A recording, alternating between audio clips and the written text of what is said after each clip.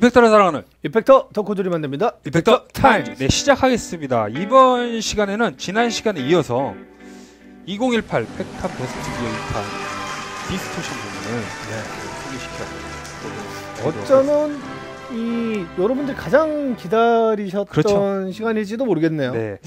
다른 이펙터 부문에서도 엄청난 기어들이 쏟아져 나왔지만 distortion 이펙터는 시장에서 가장 큰 파이를 가지고 있고 또 특히 2018년도에 엄청난 quality의 distortion들이 쏟아져 아, 나왔기 맞아요. 때문에 가장 기대하고 있는 부문이기도 맞습니다. 합니다.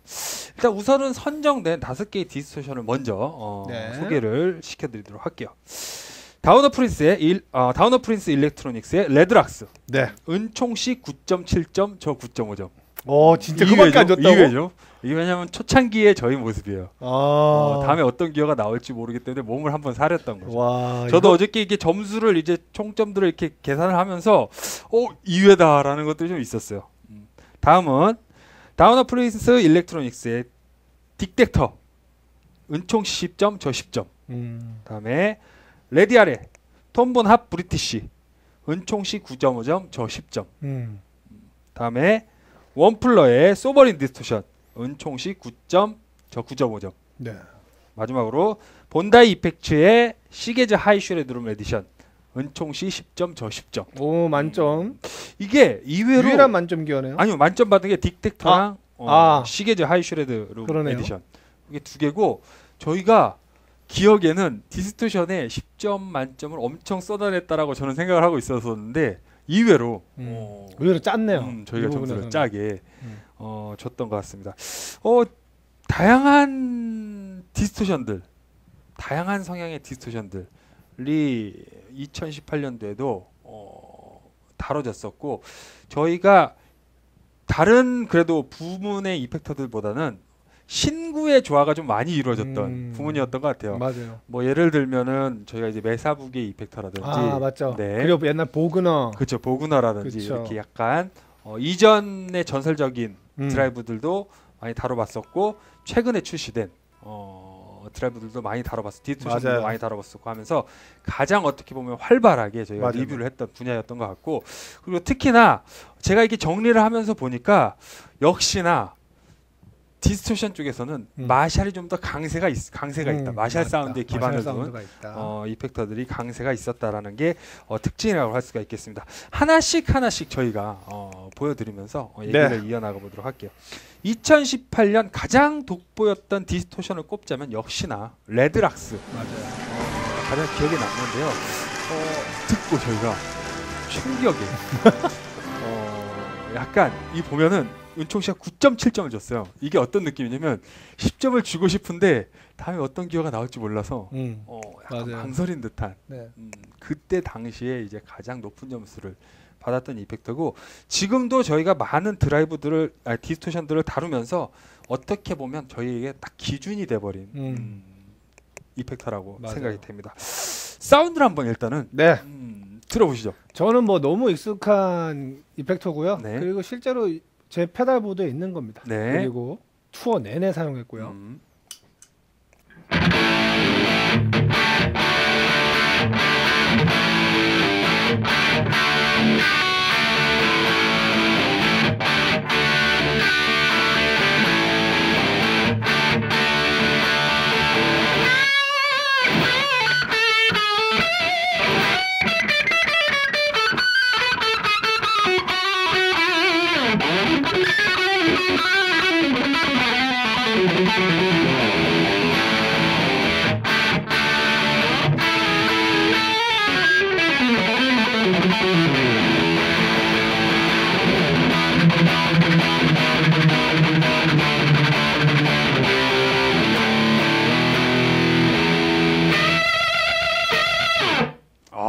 이랬죠? 네, 그죠. 이랬, 었죠 기억이 새록새록 나네요. 네.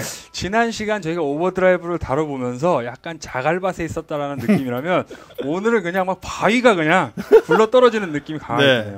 되게 이 뻔한 얘기라고 생각이 드시겠지만 정말 rocking한 사운드 를 제대로 연출을 해주는 드라이브가. 그뭐 Red Rox 일화로 말씀드리면은 이제 그 제 동료들을 데려왔을 때 네. overdrive를 추천했을 때 다 좀 고민했어요. 음, 뭐 좋은 페달들이. 네네. 근데 Red Rox는 심지어 이 디소션을 잘 쓸 일이 없는 뮤지션들도 Red Rox는 한 번 쳐보고 야 이건 사야겠다. 음, 이건 그렇죠. 다른 걸 추천해도 어. Red Rox를 다 사가는. 저희 성향도 안 타고 호불호가 갈리지 않을 정도로 음. 극도로 호가 많았던 네, 그런 페달이라고 맞습니다. 생각이 됩니다. 다음은 같은 브랜드의 어, 또 하나의 명기죠. 네. Diktator를 어, 들어보는데 역시나 이 디스션 부분에 두 개나 선정된 Dawner Prince 역시 페탐을 진행하면서 저희에게 가장 큰 인상 인상적인 맞아요. 브랜드였던 것 같은데 이 Diktator도 생긴 거부터 어, 사운드까지 어, 저에게 큰 맞아요. 감동을 줬던 음, effector입니다. 사운드를 일단 한번 음, 들어볼까요? 네. Marshall crunch 사운드가 되게 일품이었 그런 느낌이었었죠. 기억나는데.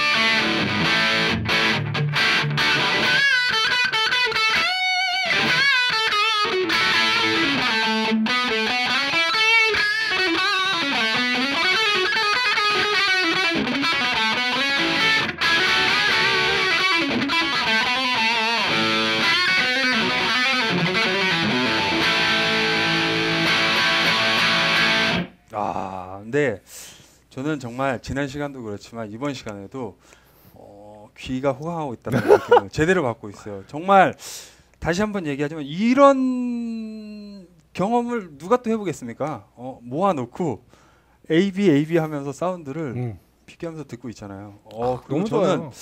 이 저희가 이제 저번 시간처럼 최종적으로 다섯 개를 다 다뤄보고 가장 인상 깊었던 페달을 하나를 선정을 할 텐데 이렇게 비교를 하니까 정확하게 제 의견을 전달해 드릴 수 있을 것 같아서 너무 좋네요. 네.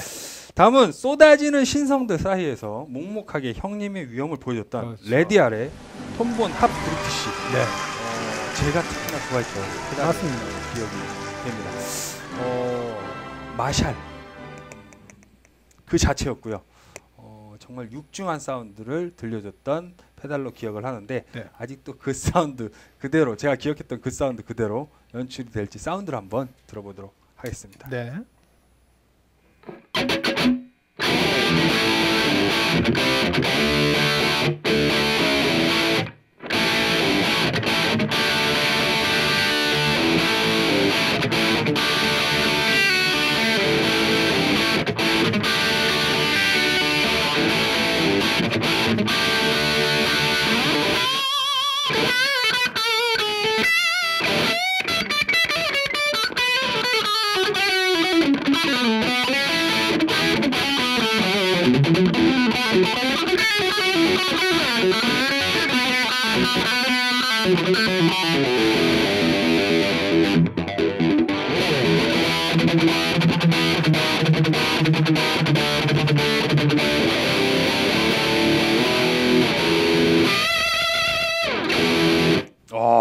무겁죠, 확실히 소리가. 그렇죠. 음, 기름지고 아, 그렇죠. 빈틈없고 밀도감 있는 사운드를 그대로 들려주고 있습니다. 맞습니다. 이 드라이브계의 기둥이라고 할 수 있는 Wampler의 Sovereign. 제가 아. 예전에 뭔가 이렇게 제가 적토마에 올라탄 조자룡 뭐 이런 식으로 아, 예, 맞아, 맞아. 평가를 줬던 것 같은데 그만큼 저한테 강력한 인상을 줬던 어, distortion 맞아요. 페달입니다. 그때 같이 피나클과 같이 저희가 리뷰했던 걸로 피나클. 기억을 하는데 저는 개인적으로 피나클보다 소버린 쪽에 어, 피나클이 좀 더 약간 좀 산뜻했죠. 음, 약간 그런 소버린에. 비교하면 그죠? 음, 맞습니다. 이제 소버린 사운드를 한번 네. 들어보도록 하겠습니다.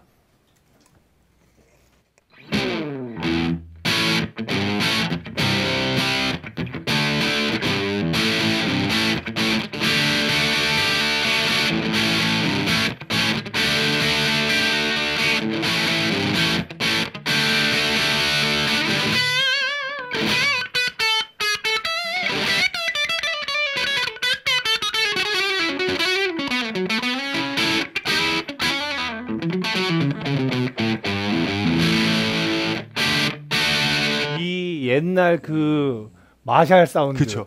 이 근데 제가 좀 놀라운 게 뭐냐면 음. 마샬 계열 effector들 저희가 한 편 한 편 한 편 따로는 다뤄봤지만 이렇게 모아놓고 그렇죠. 네 개의 effector를 이렇게 순서대로 들어보니까 마샬 특유의 톤을 다 그대로 재현하면서 맞아요. 각 브랜드 각 effector마다 개성이 살아있다라는 게 정말 놀랍네요. 제가 최근에 다시 Led Zeppelin이 좀 듣고 싶어서 꺼내 네. 듣고 있어요. 음.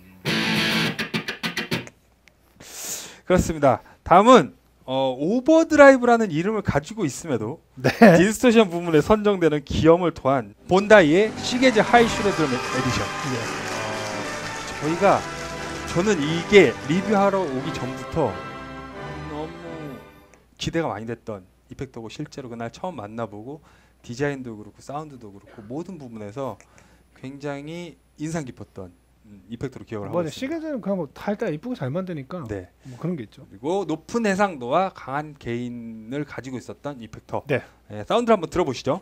네, 그 소버님 좀 꺼주시면 감사하겠습니다. 이 시계는 또 특징이 있어요. 이 하이가 깨랑깨랑.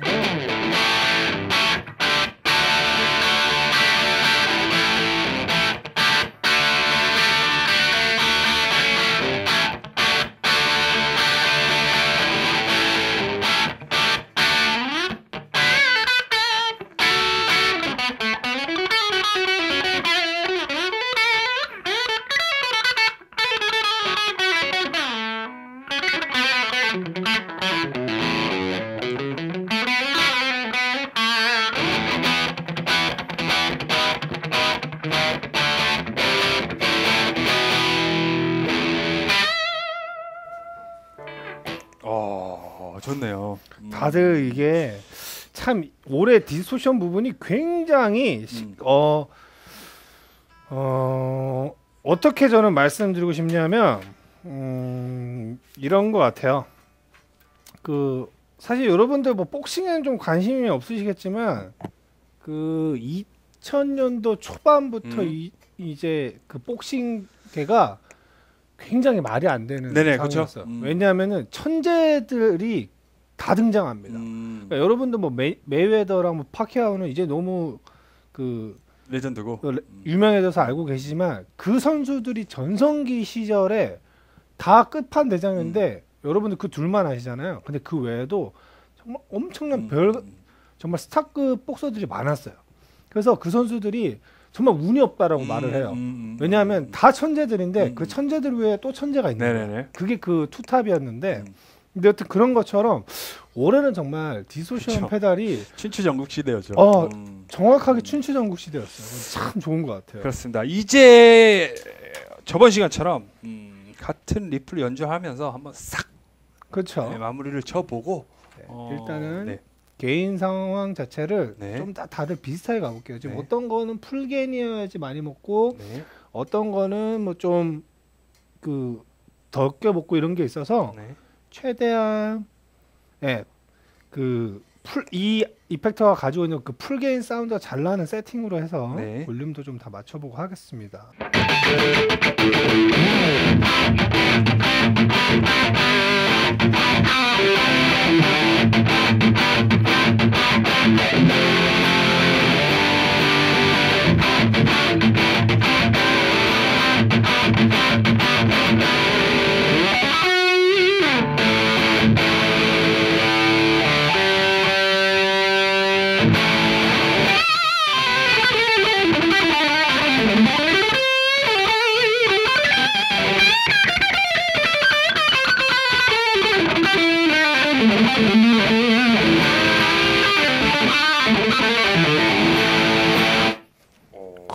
역시 레드 락스. 레드 락스네요. 다음은 같은 브랜드의 딕텍터. 딕텍터 저희가 마샬 crunch 사운드라고 굉장히 사랑했던 이 캐릭터입니다.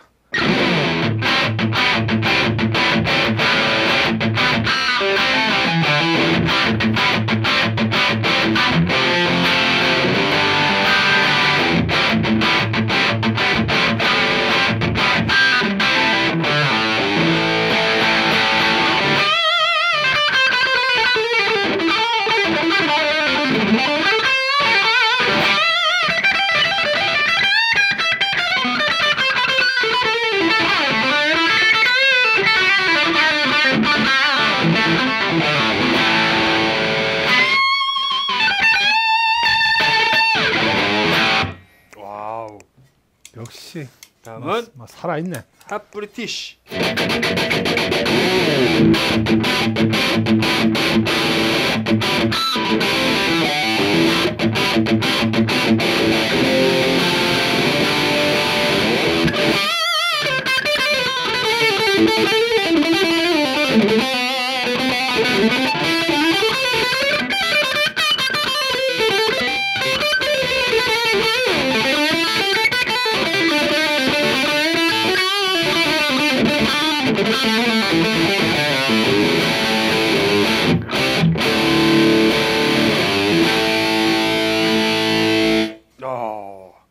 큰형님, 큰형님 핫브리티시였죠. 다음은 소버린.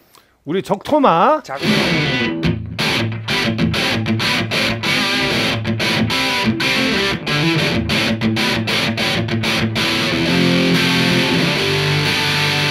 여러분들 아까 처음에 시연할 때 어? 디스토션인데 왜 이렇게 소리가 약해 이러셨죠? 네. 저희가 소버린 이래서 좋아하는 겁니다.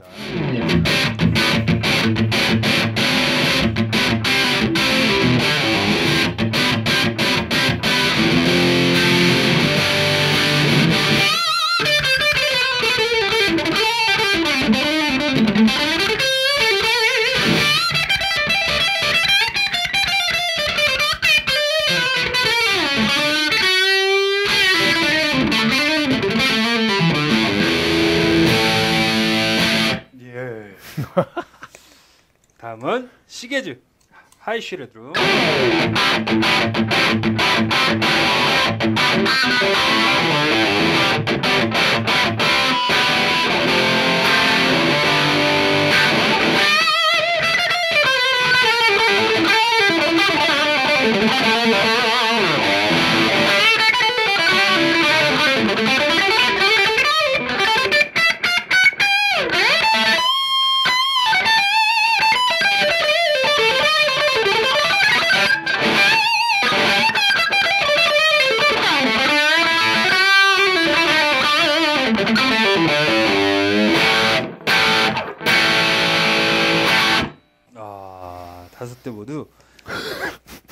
후끈하네요. 어, 이 선정된 다섯 대의 이펙터 중에 가장 인상 깊었던 디스토션을 한 대씩 어, 선정을 해보도록 하겠습니다. 은총 씨 먼저. 네. 역시나 저는 저번과 똑같이 말할게요. 어차피 뭐 레드락스는 음, 제가 이미 가지고 있고 네. 그 이유가 있겠죠. 네. 이 중에 가지고 있습니다. 아 오늘 다시 한번 또 느끼네요. 소버린의 재발견. 음, 제가 또 이게 소버린 또 저희가 초반에. 했잖아요. 초반에 했었는데 물론 그 초반에 했던 기어 중에 레드락스를 저는 일단은 뭐 그냥 바로 가져갔어요. 그리고 음. 지금까지 너무 잘 쓰고 있고 주위의 뮤지션들한테도 굉장히 추천을 많이 해서 실제로 어, 제 주위 뮤지션들이 굉장히 많이 사용하고 있는 페달이기도 합니다. 근데 소버리는 오늘 들어보니까 와 이거 진짜 역시 적토마였구나 이런 생각이 듭니다. 좋습니다. 저는 어, 레드락스와 시게즈가 가장 2018년도에 top best다라고 생각을 하면서도 어, 톤본 핫 브리티시 예 뭐 점수를 주고 싶습니다.